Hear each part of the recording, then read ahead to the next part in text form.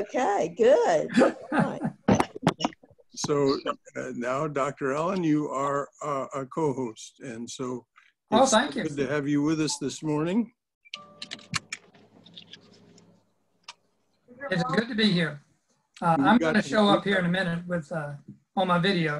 Right now, I'm opening my lecture on another laptop so I can read it while I. Okay, we're going to we're going to open with a prayer. I'll open with our standard every week prayer, and then uh, I invite you to offer whatever prayer you wish to use to uh, to to start your talk. We'll just we'll in uh, at eleven o'clock, which is now. All right, we'll open with our with our prayer.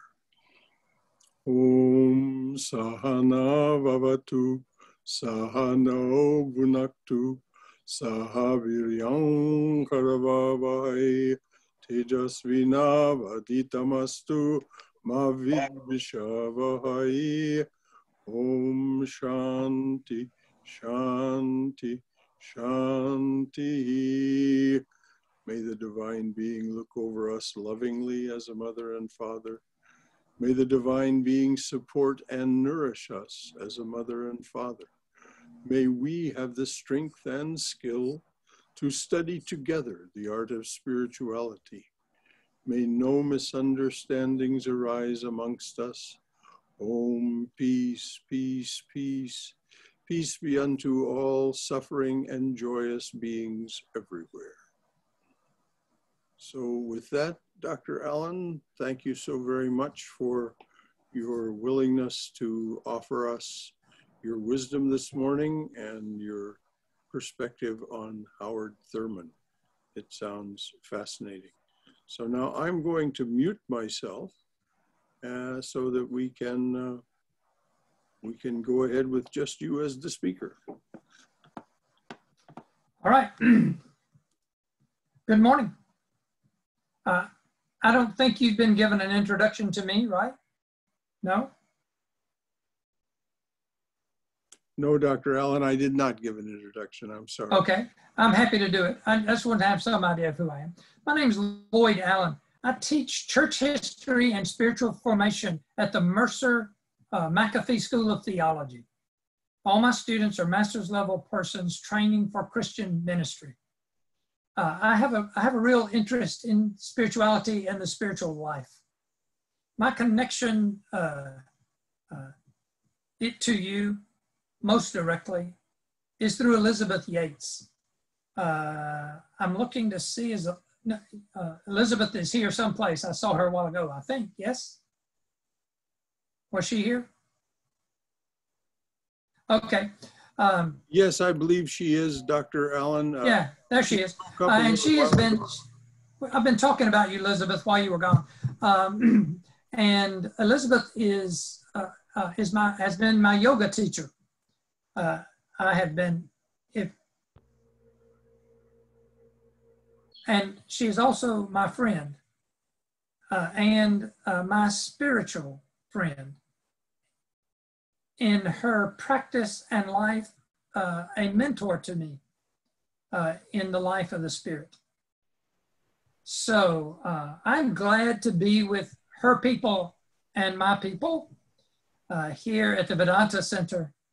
And I've spoken to you once before, and I spoke on Thomas Merton, and who is a, a Catholic mystic of the 20th century. And today I intend to speak on uh, another Christian mystic, uh, this one, Howard Thurman. I chose Howard Thurman for two reasons. One is because I've been reading a little Howard Thurman lately, and so I, I decided I'd talk about what was fresh on my mind. And uh, second, because as a mystic and contemplative and a powerful social witness, Howard Thurman, I th- think, uh, will reflect many of the values of your community, uh, as well as values of my own uh, community and Christian tradition. So, and I'm not making a distinction there between I'm Christian and you aren't. I'm just saying that the Vedanta Center is not a local Christian congregation, which is where most of my uh, participation occurs in religious institutions. Uh, my wife Libby is on here. Uh, that's Allen L. there, the woman in the red. She's on the back porch. I'm up in the office because I'm working.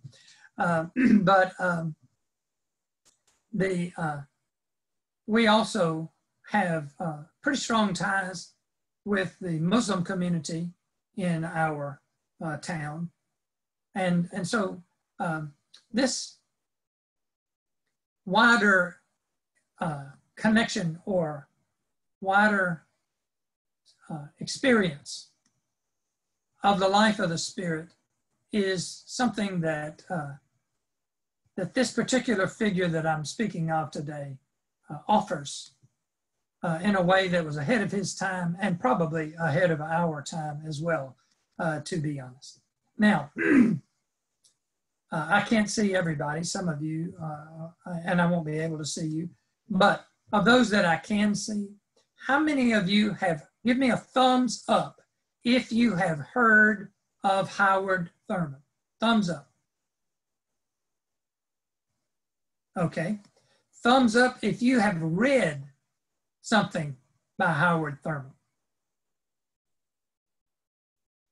Thumbs up if you have read something other than Jesus and the Disinherited about Howard Thurman. That's what he's known for when he is known. All right. Uh, if you don't have any questions, and by the way, I believe that you can always uh, unmute your mic if you choose.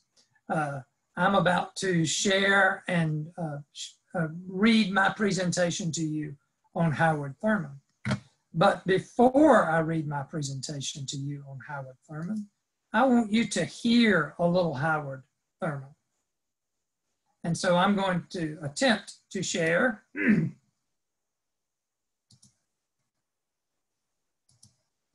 uh, about a four minute interview with Howard Thurman. And if you can't hear this, I need to know you can't hear it. So uh, I've got a group of you. I have Uma and Elizabeth and Kay Hunt. So when I get started, if you can't hear this, uh, let me know. Yes, Uma, you'll get you got your hand raised. Uma, did you have a question? You got to turn your mic on. You got to turn your mic on. Oh, I can hear you. I can hear very well. You can't hear me very well? Yeah, I can hear. Oh, she can hear me very well. When yeah. I start this, I'm about to start this video. And when I start it, it uh, sometimes there's difficulty in getting the sound to play over the video. Here we go. Libby, let me know if you can't hear this, okay?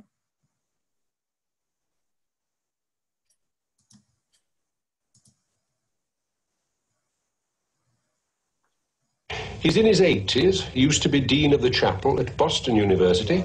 His name, Howard Thurman. Religious experience is dynamic, it's fluid, it's, it's uh, effervescent, it's yeasty, all, all these words.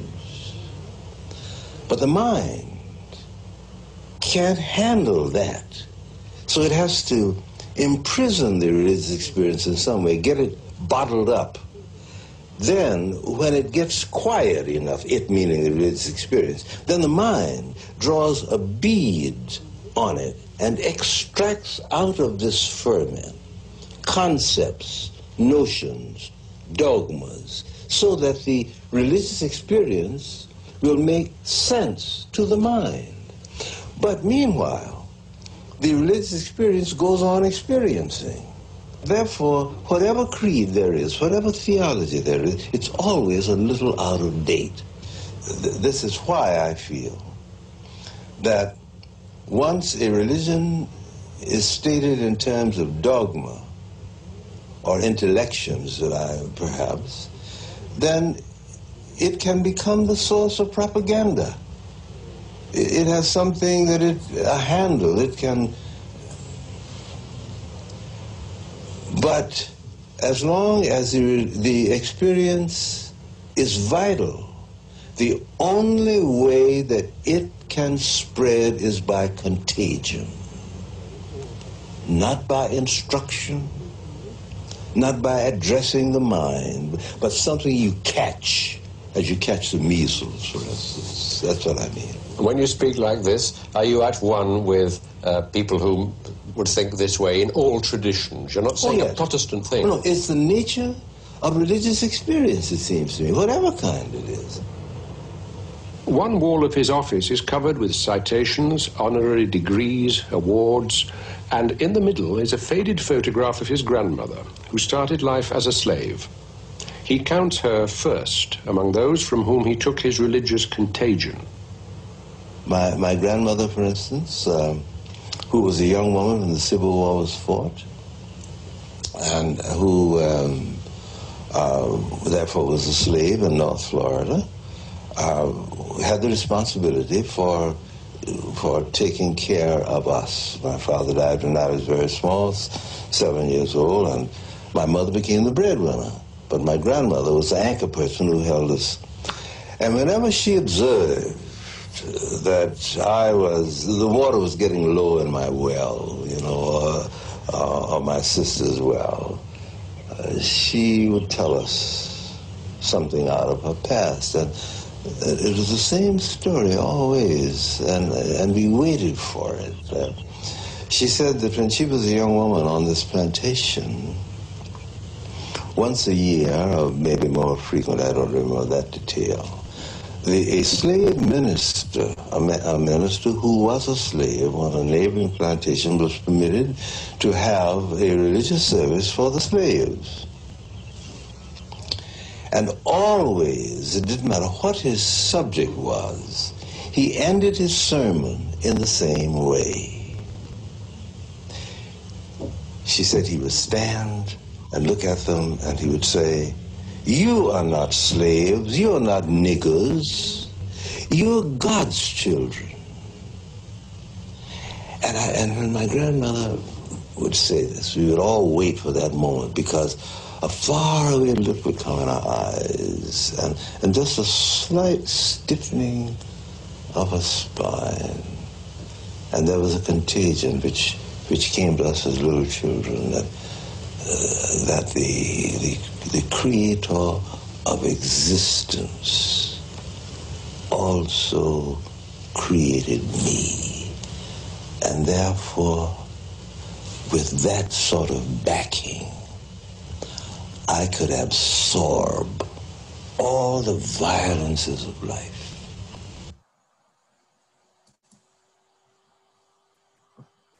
I chose that four minutes primarily because it was four minutes. There are a number of interviews and uh, presentations by Howard Thurman that you can find on YouTube. And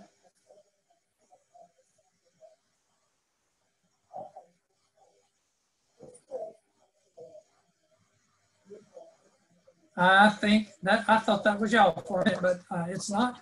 It's another. I got to go turn this off. Sorry.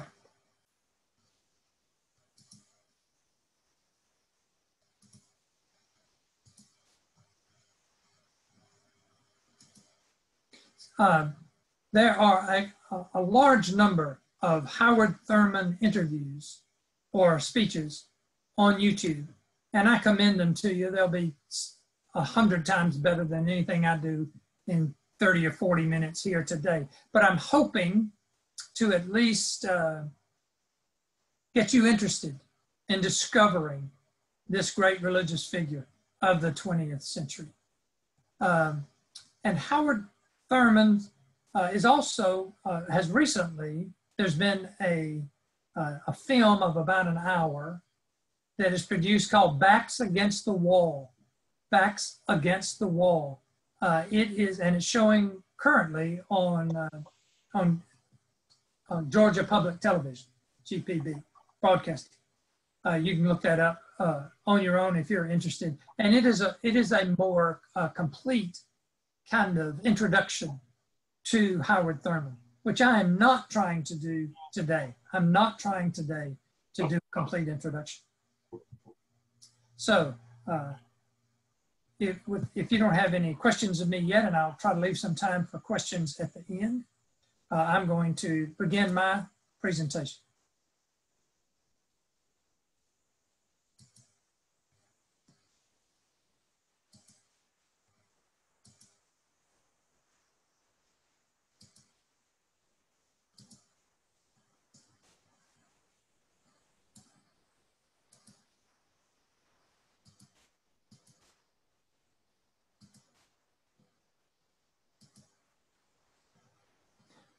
Uh, Uma, if you can, if you can see this screen, uh, give me a thumbs up. Can you see the picture of a tree?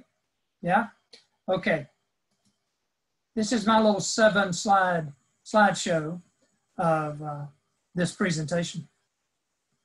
So, Howard Thurman, born 1889, died 1981. He was one of the great religious figures of the 20th century his contributions far too numerous to even begin to cover in the time that we have this morning. I'm going to only speak to one chapter of one book out of the more than 20 books that he wrote. So here's what we won't be doing. We won't be looking at how he brought together his Quaker mentor, Rufus Jones's Christian pacifism, with the political nonviolence of Thurman's friend Mahatma Gandhi, and then having figured out how they connect together, passed that on to his student, Dr. Martin Luther King Jr., who may have, whom you may know, used such pacifism and nonviolence in a great social movement in America. No, we won't be we won't be exploring that. And and we won't be exploring Thurman's most famous text, his classic Jesus and the Disinherited, which, by the way, Dr. King again studied during the Montgomery boycott about how to do what he was trying to do, how to say what he was trying to say. Jesus and the Disinherited is the book that first linked Jesus and Christianity to the Black oppressed rather than the white oppressors in American society, and which stands as a precursor to the later rise of the Black liberation theology, James Cone and others. So we won't have time to talk about that. We're not going to have time to trace this Baptist minister. I'm a Baptist minister, that's why I throw in the word Baptist here. We, we won't have time to trace how this Baptist minister, Howard Thurman's influence on religious education was so broad and deep. While he served at various times as a professor, a chaplain, and a dean at institutions such as Atlanta's Morehouse College and Spelman College, and also at Boston University and Howard University. And his interreligious pioneering in founding the Church for the Fellowship of All Peoples in San Francisco will only be mentioned in passing today. We don't have time for any of that. But we do have time to take a brief look at the wellspring of all that Howard Thurman accomplished. That wellspring was his mystical encounter with God through contemplative prayer. From his materially impoverished but faith rich childhood in Daytona, Florida, to the end of his life, Howard Thurman found the God of his mother and grandmother, whose picture you just saw in the video. He found her God and his God everywhere. He wrote once of his times of prayer underneath a great oak on the Florida coastline. And here's an image of that oak. He wrote this about his times sitting at the base of that tree. He wrote, quote, eventually I discovered that the oak tree and I had a unique relationship. I could sit my back against its trunk and feel the same peace that would come to me in my bed at night. I could reach down in the quiet places of my spirit, take out my bruises and my joys, unfold them, and talk about them. I could talk aloud to the oak tree and know that I was understood. It too was part of my reality, like the woods, the night, and the pounding surf. My earliest companions giving me space. That's in his book, With Head and Heart. And Howard Thurman's explanation of the nature of that God soaked life is my subject today. I want to say before I go further that Howard Thurman was thoroughly and deeply Christian. He's an Orthodox Christian. But he had an orthodoxy that was expansive and open to the mystery of God in all places, all peoples, all creation. My goal this morning is to summarize the Christian mystic Howard Thurman's views of humanity's inward encounter with God and its effects on the outer life. My source is chapter one of Thurman's book, The Creative Encounter An Interpretation of Religion and Social Witness. The content of the of that chapter and the three other chapters that comprise this little book was first delivered at the Merrick Lectures at Ohio Wesleyan University in March of 1954. Because of that, uh, you will notice non-inclusive language in the quotes I use. I want you to know I'm aware of gender inclusive language and I believe it necessary, important, right. But I'm going to let Thurman's quotes stand as they were written. He was a most inclusive person and would no doubt use gender inclusive language today if he were speaking today. So, with that caveat, I'm going to move on now to my presentation about his understanding of the human divine encounter. He calls it religious experience. You heard in that little four minutes. He's, he's using the phrase when he talks about the human contact with the divine, the spiritual life, what today would probably be titled, would probably be labeled either mystical experience or spirituality. He calls religious experience. So that's, that's, what, that's what will be said uh, in his book and in much of this lecture. So religious experience. Thurman begins this work with a definition of religious experience.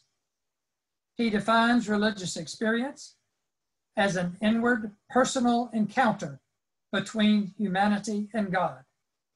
Inward personal encounter between humanity and God.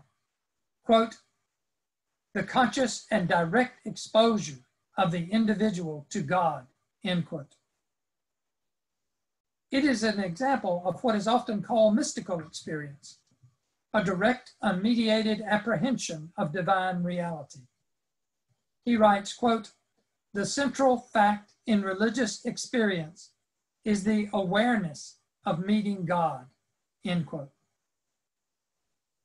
The most important thing, he says, that it teaches us is that God is. end quote. He also says, quote, this is not an inference, but a disclosure. Perhaps I should say is not merely an inference, inference, but it is also a disclosure. So I'm going to read that sentence again. This is these are his words. The most important thing that the encounter teaches us is that God is. This is not an inference, but a disclosure. Perhaps I should say it is not merely an inference, but it is also a disclosure. End quote. And he wrote these things from personal experience at the very deepest level. Thurman noted that to the individual, the human divine encounter seems to include all the meaning of one's life and beyond one's life. Includes all the meaning of one's life and beyond one's life. After all, encounter with God is encounter with existence itself, being itself, the life of life, the meaning of meaning itself. Encounter with the all in all. Otherwise, it is not encounter with what Thurman or his Christian tradition meant by God. My ears heard in the opening prayer today divine being. These things we can say of divine being. Now, in that encounter, where that meaning is uh, revealed, the individual does not come bringing a clean slate to this universally human experience. No individual brings a clean slate to this encounter. The individual self, the individual self, brings its particular history of experience, his or her, and also ways of interpreting that history. The individual brings a history of experience and ways of interpreting that history. These serve as one's tools to interpret the nature of the encounter itself. These individual particular experiences are also part of the totality of meaning that makes up one's life. Since these experiences, these particular individual experiences exist, they necessarily exist in God, for all that exists exists in God. Thurman describes this individuality within universality as the individual coming, a favorite phrase of mine from him, as an individual coming, quote, always, quote, into the presence of God with the smell of life upon him. End quote. Here lies the paradox of the universal encompassing without extinguishing the particular, and therefore giving a rise to a variety of interpretations of universal experience. In Christian life, Christian theology, it is the scandal that accompanies Jesus, the scandal of Jesus, the particular, incarnating God, the universal, in Christian traditions, affirmations. This understanding of the individual being encompassed but not extinguished by the universal was central to Thurman's interreligious dialogue with other faiths, which he also saw as experiencing the whole and interpreting it through the particular. In this chapter that I am summarizing today, he talks of meeting uh, with a Hindu scholar in India on a visit to India and they spent about an hour, an hour and a half talking about their faiths. He said when they got through, both of them were smiling. And they realized they were smiling because they realized that they hadn't really shared much about their individual faith. So they agreed to come back together and take another uh, shot at it.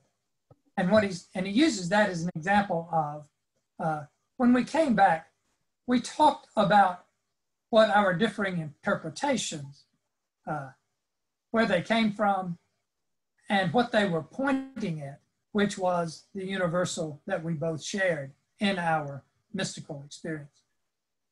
So this called this called Thurman to be a Christian who affirmed the human divine encounter in all religions and all persons, in all humanity, in all creation. So, in spite of the variety of interpretations of religious experience, which the smell of man brings with us, one thing remains in all of them, according to Thurman. That one thing is the affirmation of direct exposure to ultimate meaning, so inclusive that all questions disappear in the moment of encounter. The individual in divine encounter comes into possession not of some new and additional knowledge or thing, but comes to a realization, a realization of something known all along, for we are part of that which we realize. This realization is a key word for Thurman at this point. Realization is what is new in the human divine encounter. The fragmentary image of God the individual brings to the encounter provides a quote toehold that God uses to communicate a larger realization.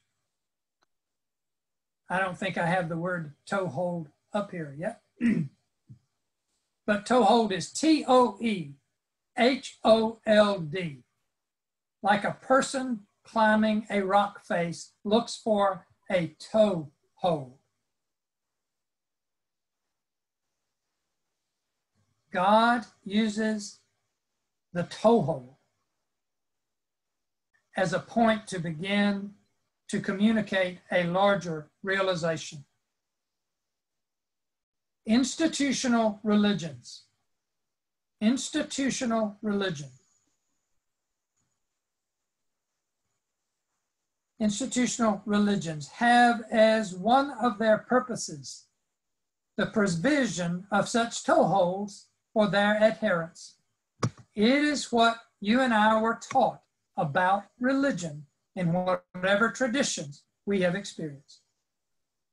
Now, those toeholds, inasmuch as much as they are true to the whole, W H O L E, inasmuch as much as they are true to the whole, that religion is good. And toeholds are necessary, says Thurman. One can't just leap up to God without them we have to use toeholds to move forward.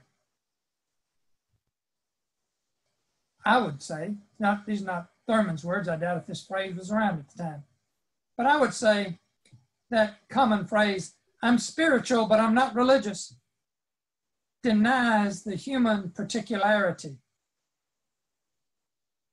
Just as idolatry of a tradition, we alone are right, denies God's universality. Both are true. Religious experience requires toeholds to get a place in the great mystery, while the mystery rises ever above them as they look for the next toehold. The human divine encounter, an individual religious experience, brings with it a confidence, Thurman says, a confidence, an assurance that beyond the self and the self's power, powers of comprehension lies a fullness of meaning. Those who've been in the encounter, in, in the encounter have a confidence, an assurance that there is meaning fullness of meaning that lies beyond their powers of comprehension. There is order to the universe, and this is an assurance we have. But it brings more than confidence that such a reality exists or has been glimpsed. It brings personal knowledge that such a metaphysical truth, that which we have confidence is, it brings personal knowledge that such a metaphysical truth has chosen to reveal itself to you, the individual, to me, Loyd, to you, Uma, to you, Ms. Ayers. So, it brings personal knowledge. Like that, that is the key to understanding the Methodist movement of John Wesley.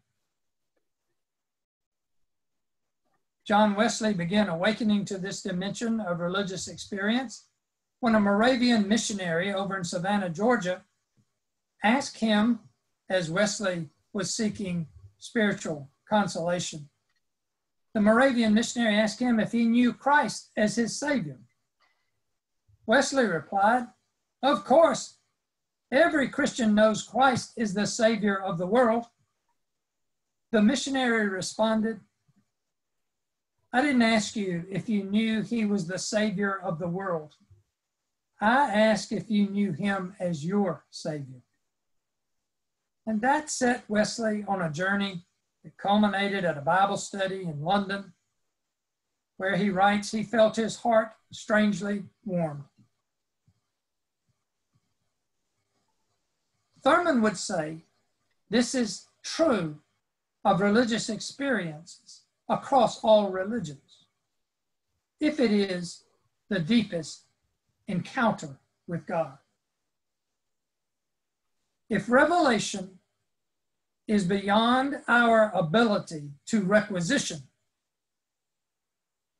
then that revelation requires a revealer, which Thurman says these are Thurman's words, which Thurman says some of us Christians call Christ and others call God. And then he goes on to talk about other names and ways in other religious systems.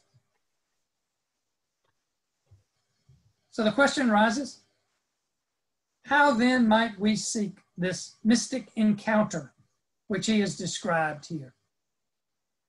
Thurman says or writes of two particular disciplines that can ready human spirits for the human divine encounter. Two disciplines that he says can ready the human spirit for human divine encounter. One of them is prayer, and the other is suffering. He begins before he talks about prayer or suffering.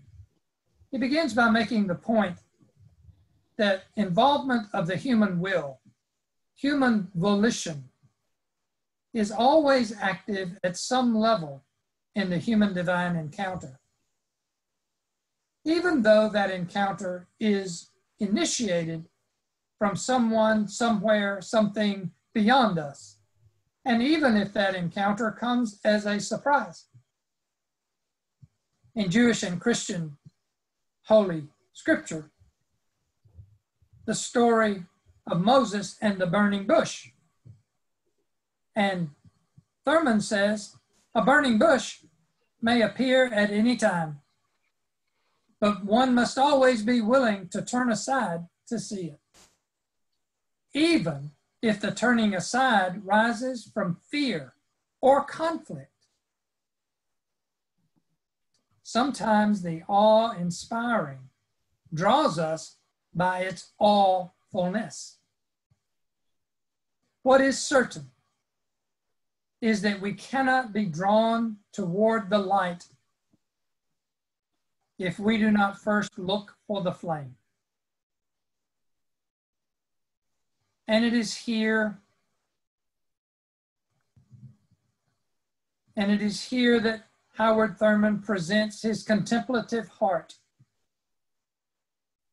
his prayer and suffering discipline. He first notes that there are other types of prayer, but he defines this prayer for encounter as, quote, the method by which the individual makes his way to the temple of quiet within his own spirit and the activity within its walls. He, he italicizes three words, and you can see it here on this slide. He italicizes, it's a method. It's not the thing itself, it is a method by which the individual makes a way to the temple of quiet. I didn't do the italicis on quiet. Uh, within his own spirit, and then the activity once within its walls, the temple of quiet.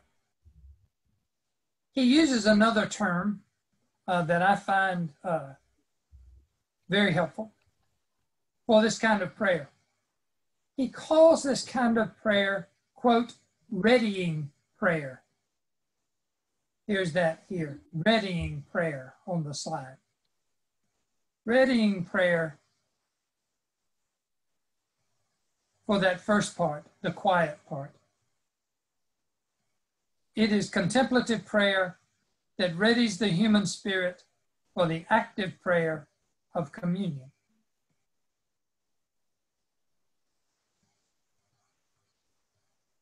He defines it as the total experiencing experience of quieting down to the extent that must not be separated from meditation. So he brings in the term meditation as not the whole of readying prayer, but as an essential aspect of it.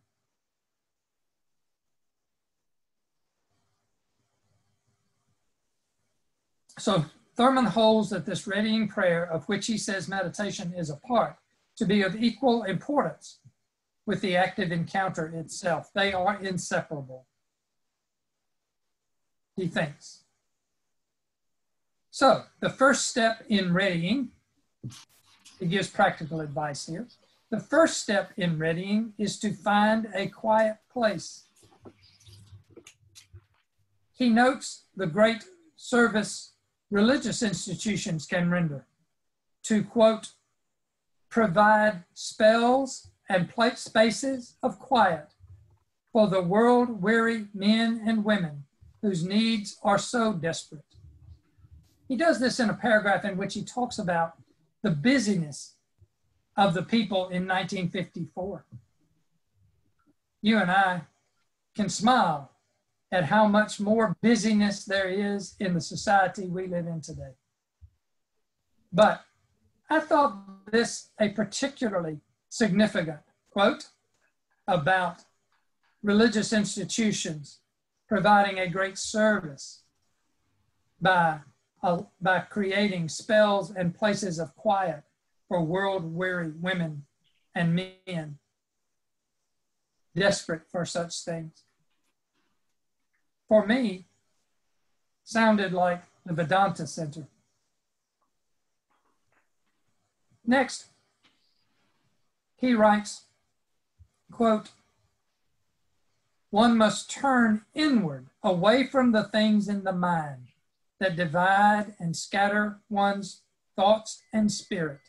So the first one is quiet space. That's external, that's outer world. The second one is inward turning away from the mind that divides and scatters. And he suggests various ways of this inward centering the quiet reading of scripture text, the creation of a mental clothesline to hang one's distractions upon, using the imagination to enter sacred scenes from one's tradition, and even presenting one's particular anxiety or guilt before God as a readying point. that last one is where he recognizes that many people who are under great anxiety or feel great have trouble turning their minds away from that. So he says, use that as the place where you focus and invite God uh, in to calm the distractions. Anyway, in this process of such readying prayer, Thurman says one finds, quote, the initiative slips out of one's hands and into the hands of God. The self moves toward God, who in Christian tradition is a seeking God. That is, he thinks this quiet, outward and inward, is often fruitful because God is already seeking the Spirit. In the divine human encounter, prepared by these surrenders involved in readying prayer,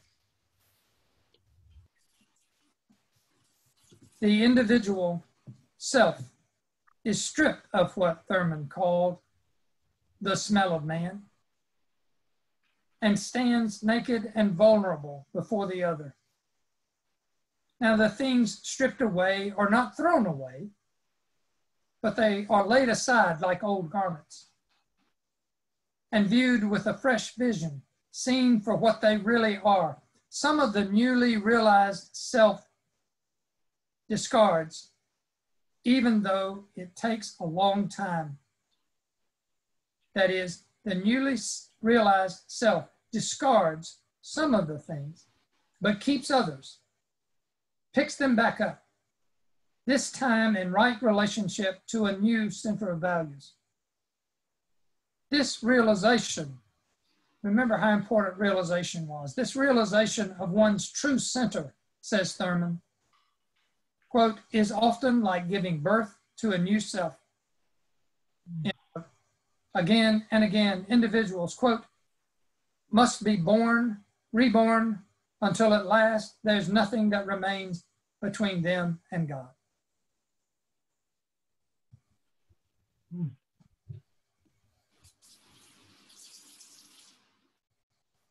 A second discipline that Thurman presents as preparing one for human divine encounter is suffering. Our time prohibits any full explanation or discussion of his insights on this very difficult matter. But I will say that Thurman proposes that suffering like prayer may strip away the self's false pretensions about the competency of the self, as pain demands the cessation of all other thought or purpose. Another action or uh, result of suffering may be that honest hostility to God results. And this honest hostility to God resulting from suffering may also reveal the futility of the ego's illusions of its self-importance and pride. For me, I thought of Job. Like Job, suffering may cause the insistence upon knowing. And this insistence upon knowing may, in the face of unanswerable suffering, yield to realization of God's presence as real and sufficient. Now, I close with a brief note on how Thurman extends the mystic center into the outer social witness. He says that when one encounters God, one is exposed to the universal vision of God's purposes, which is seen in total meaning. And though we can never fully comprehend the depths of God's fullness, he says, Thurman, we can put, quote, our little lives, our little thoughts, our little activities, our little devotions, end quote, at the disposal of the vision granted in encounter with God. And in doing so, we, quote, can achieve, in fact, what we see in vision end quote. And gradually, we and our world become through contemplative mystic encounter and its embodiment in our lives, one with what God is bringing into being in all creation.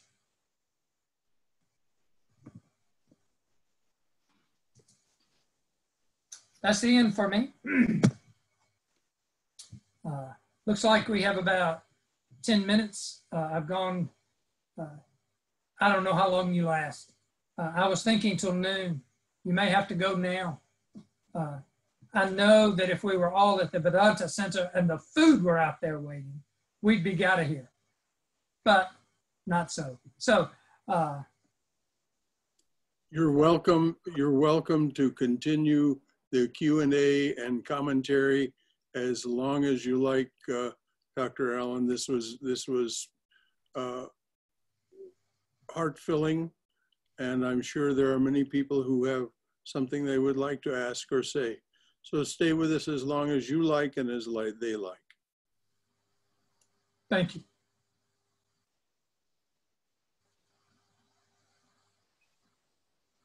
Does anyone, and you were, you were able to uh, unmute your mics in a way I am not. if you have any questions, it looks like you have to ask the host to unmute. I don't know.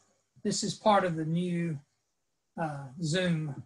Normally, we just speak up. Um, is, anyone have a question for Dr. Allen?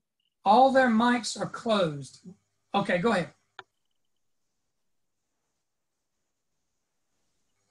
Um, Uma, speak up. Yes. Um, first of all, thank you so, so, so much because personally, I could go back about 30 years when I was at Emory uh, doing my PhD, I took a course called Wholeness and Being by uh, late Dr. James Fowler. I'm yeah. sure you are familiar with him. Yeah. And um, in that course, he mentioned that Dr. Thurman visited India in 1934 and had a private session with Mahatma Gandhi. Yes. And that time, he posed a question to Gandhiji that what does he think about the Negro? That time the word was Negro. So what does he think about the movement that is uh, right now going on in America about the Negro Enlightenment. And that is the time that Gandhiji made a statement that it will be through the Negro community that emancipation will come. And those words are so prophetic. So that's what I wanted to share with you. And second, what I enjoyed most deeply in your lecture is the comparison about the Vedantic view and Christian view about mystical experience. That more than the thought process is an intellectual approach, it is what counts is the personal encounter the deeply felt, as you said, it's a contagion. And when you're caught by that contagion, then everything else becomes either, you know, not that important. But that's what touched me deeply. And thank you. Thank you. Uh, one of the quotes about that it's not i'm not going to quote but one of the things that he said about that visit with gandhi yeah, yeah. was that gandhi expressed disappointment mm. the spiritual movement of nonviolence which had been so effective in india mm-hmm. not spread more widely uh, into the rest of the world mm-hmm. and then it, through the conversation you're describing said well, perhaps Mm. this nonviolent political activity that I have presented will be carried on Yes. by the American Negro in their struggle for rights. And uh, it is not often enough stated that it is Thurman who understood at a deep level yeah. uh, this spiritual power, who brought it back, and who had a whole generation of students, including Dr. King and others, Yes. whom he taught uh, that Christianity and the nonviolent political movement of Gandhi uh, were not only compatible, Mhm. but they were part of the same cloth. Yes. It was. A second thing I want to say in response to uh, your comments are for most of my career, Mhm. teaching Christian students, Protestants in the South, I have had to struggle to get students to appreciate that some religion other than Christianity might have some truth in it. or if they believed it had some truth in it, that they wouldn't assume that because other religions had some truth, when they got to the top of the mountain, they'd all be Christian. Yeah. Gandhi has a different way to talk about that. But here's what I want to say to you. What I just told that was a problem for me teaching, Hmm. it's not much of a problem for me teaching now with the progressive Baptist students that I have. Mm. The problem I have now is often that my progressive Baptist Christian students think Christianity is not necessary for their own lives and ministries, Uh, nor is Hinduism, nor is Islam. All of those are just shells about the real thing. So it's not true of all students, but for many of them, the culture in which they exist is that uh, that the particularity of religious traditions is unnecessary. Uh, and I think Thurman also has an antidote from that, for that, from 70 years ago. And I saw that in my in my language about the toe holes. Hmm. That uh, we can't move from nothing to something. Uh, and Elizabeth, uh, I, I remember you saying to me once that some advisor of yours, not not me and not a Christian advisor, said, you know, Elizabeth, uh, to move forward, you need to go back to your Christian religion and understand it better. I don't know if you want to speak to that or not, but I think Thurman would agree. Uh, I can be a better universal human being, spiritual human being, if I understand my own tradition mhm. uh, fully and can lean into it in a way that doesn't cut me off from the next step up. Let me just say amen to that, uh, Dr. Allen, uh, from the perspective of someone who uh, is responsible for teaching at this place. Uh, the foundation of Christianity, uh, Methodism, in which I grew up, uh, those who listen to me regularly know that Christianity and the teachings of Christ are foundational to the way I think and the way things are taught here. It's it, the toehold that that, that that's such a beautiful uh, metaphor. Yeah. Uh, and the particularities Mm. are important. This deconstruction um, that's going on, this idea of deconstruction is is uh, subversive.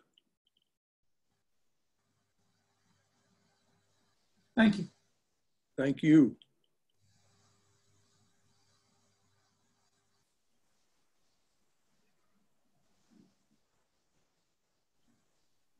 Where does Dr. Thurman touch you personally, Dr. Allen? Where does he, where does his, where do his insights touch you personally? Um, I do not have the kind of immediate mystical experience in my life uh, as vividly as uh, Thurman does. But uh, I agree, the former uh, abbot out at Holy Spirit Monastery, now deceased, uh, what was his name? Pennington? Who said, uh, not many of us reach this kind of mystical experience, but all of us can be changed by at least a partial understanding of it mm-hmm. and the desire for it. Yes. So he touches me because he comes from my tradition as a Baptist and as a Protestant. And uh, he helps me understand that some of my former religious experiences, which were very personal and very deep for me at nine or 10 years old, ah. in our tradition's language, accepted Christ. He helps me connect it to a larger meaning, universal kind of meaning. One thing about Thurman. The other one is uh, today, race is still one of the great obstacles to spiritual unity and all unity in our country. We know that as we sit here this morning. Amen. Thurman is an African American mystic. Uh, and that is a powerful symbol uh, for me. And by the way, uh, I'd heard of him before. I came to begin to read him and think about him more when an African American woman in Atlanta, whose name is Loretta Brown, uh, who is a Thurman expert and a spiritual director. Uh, I, the phrase I remember is she said, I searched so long for a model for me as I longed for contemplative life. But all I saw were white faces. Mm. I met Howard Thurman's in history. And she said, and I knew it was for me too. Uh, so, on, in my outward experience, Howard Thurman uh, is a face that I can lift up to my African American students and to all African American Christians, even though I'm white male. And I can say, uh, uh, we share. We share a depth and a meaning in mystical experience. And here's a guy who can uh, articulate it for all of us, for all of humanity. It's just a, he's just a super guy. uh, and by the way, it's part of the particularities that uh, so few people know him. Now, he's widely known, but nothing like uh, Thomas Merton, nothing like Mother Teresa. That's not an accident. Exactly. And we're all humble in the presence of true saints. Yeah, he is one of those. If you just read him, uh, he is so deep, but so simple. I know when I was in seminary, there was this great theologian that my theology professor had written his dissertation on. So our theology professor uh, was teaching us about this great theologian, this great German theologian. I didn't get it, but then he made us read the book, and I thought, well, why didn't he just say that?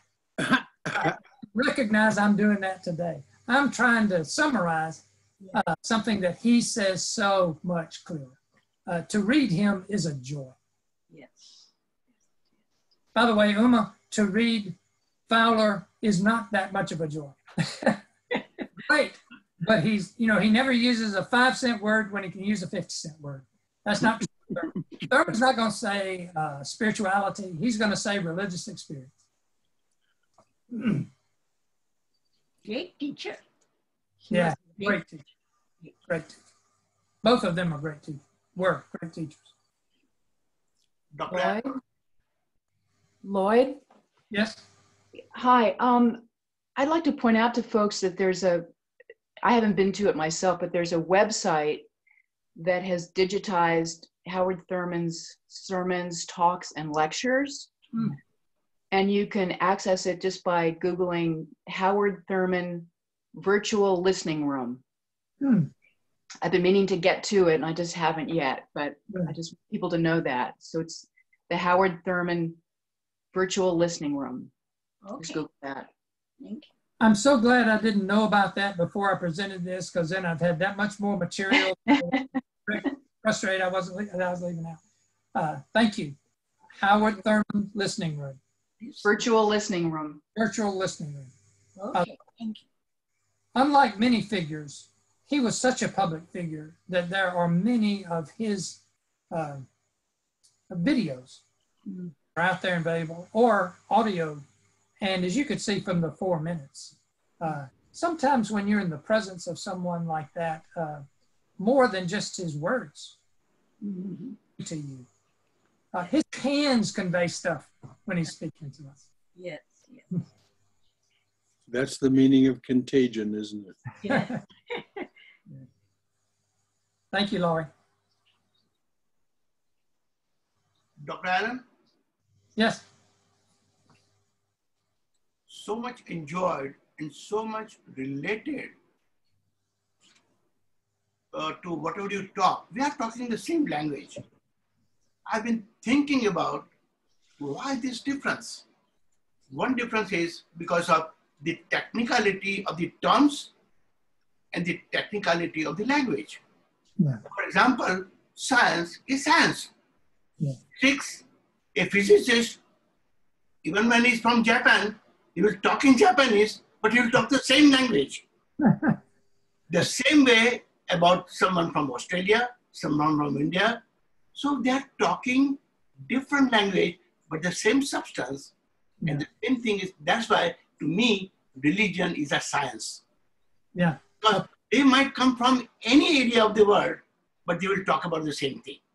Yeah. And that is the point, for example, what you said brought to me classic meeting between Kabir, who was partly Muslim, partly Hindu philosopher, and he was meeting a mullah who was a great scholar of Islam.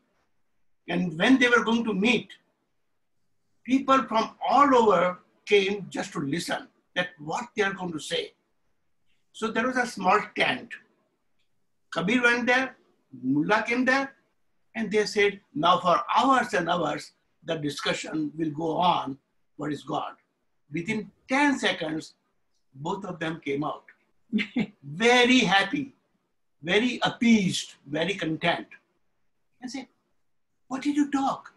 He said, not much. No, no, no, what did you talk? He says, he asked me, have you seen God? And I said, yes. And I asked him, have you seen God? He says, yes. and they're both so content. Many times, this goes like an electrical connection. It does not need a lot of prolongation, it needs an instant realization.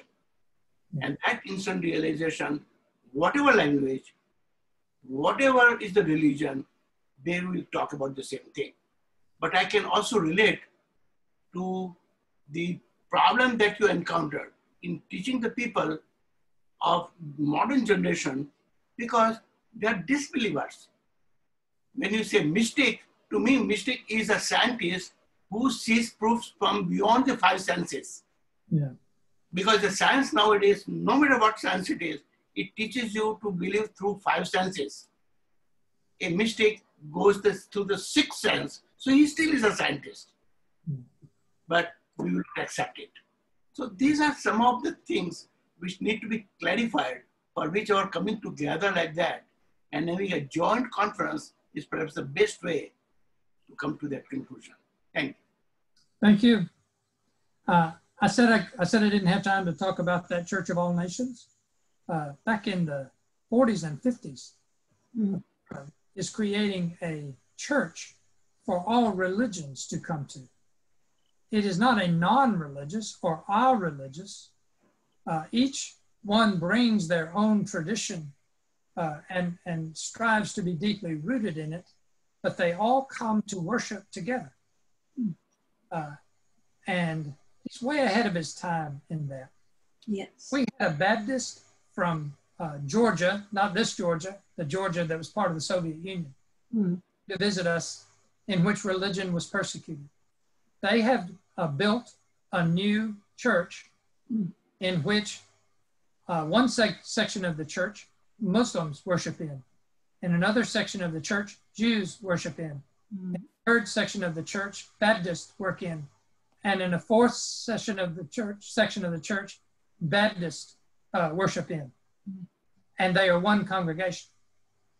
And he says, and one of the things that we did uh, when we built it was that we agreed we would not uh, that we would not all pooled together our funds to build these different sections. That the Baptists would build the Muslim church, and the Muslims would build the Baptist church. Ah, How lovely. Now, you, uh, I think that is a kind of uh, hopeful sign of what uh, Thurman was talking about, uh, which is you have to have a door to come through, Mhm. but the door is not where you're going. Hmm. is to come through. Yeah.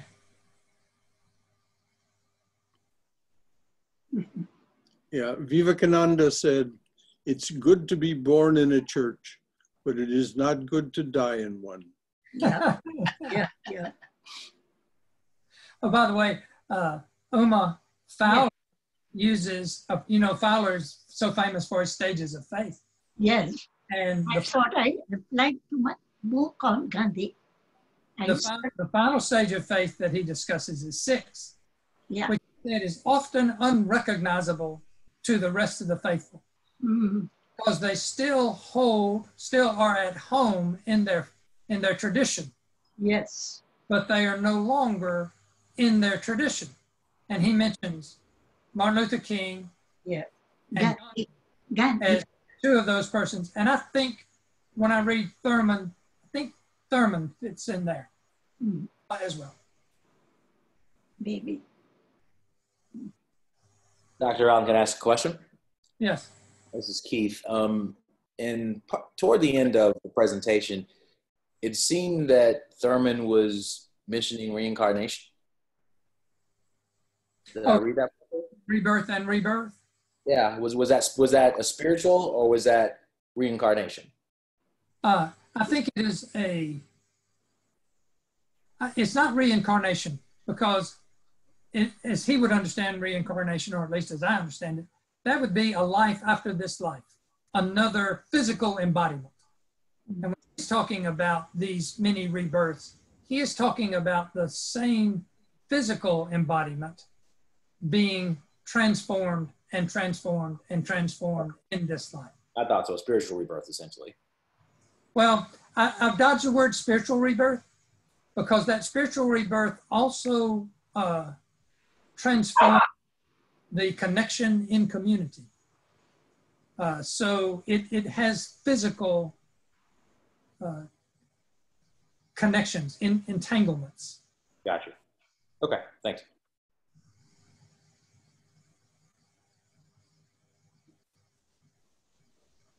Anyone else?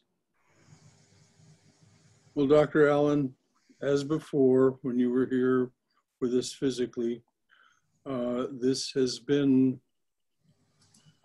heartwarming, illuminating, uplifting, all the things that it should be. So thank you. And do you wish to close with a prayer? Uh, We have one that I'll, I'll end with. Finally. Please. But no, no, if you have something, please offer that, and then I'll go ahead. I was not prepared. Okay? Then we'll, then we'll just do this. All right. Let there be peace in outer space. Let there be peace in outer space. Let there be peace in the sky, on the earth, and in the waters. Let there be peace in the sky, on the earth, and the waters. Let there be peace in the herbs, the plants, and the trees. Let there be peace in the herbs, the plants, and the trees. May the gods be peaceful. May the gods be peaceful. May the whole universe be pervaded by peace. May the whole universe be pervaded by peace. Let this infinite universal peace prevail throughout my being. Let this infinite universal peace prevail throughout my being. Om Shanti, Shanti, Shanti. Peace, peace, peace be unto us and to all suffering and joyous beings everywhere. So, again, Dr. Allen, until next time, um, thank you. Uh, and thank you for being who can do something like this. This is, uh, it's rare. And uh, your presentation of Thurman was sweet, sweet. It's as you as you knew, it would uh, be very uh, very well received here. Thank you. And uh, next time we meet in the kitchen. All right. Thank you, Loyd. We appreciate it so much. That was wonderful. You're welcome, Elizabeth. Thank you. Thank you. All Thank right. very much. Great, thanks. If there's nothing more, then we'll say goodbye uh, and end the meeting. So, Jai Shri Guru Maharaj Ji Ki Jai, Durga Durga Durga. Go in Mother's loving and protective embrace. Thank you so much. Thank you, Brother Shankar. Welcome.